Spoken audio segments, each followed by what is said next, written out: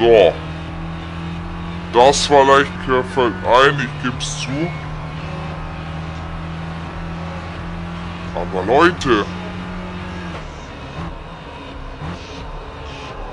Äh, diese Dreck da vorne, Mann. Was haben die mit den Gegnern jetzt gemacht? Krasser Kack oder was? Meine, okay, ich fahre jetzt, äh,